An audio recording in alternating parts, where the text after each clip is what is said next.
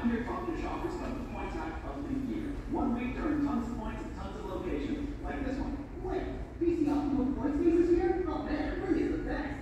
Did you know Canadians earned over 50 billion points from all points events last year? That's the best. Love meeting another points hacker. Let's bring this home. PC Optimum Points Days runs this time every year? Yep. Now through February 1st. Load our best points offers of the year in the PC Optimum app.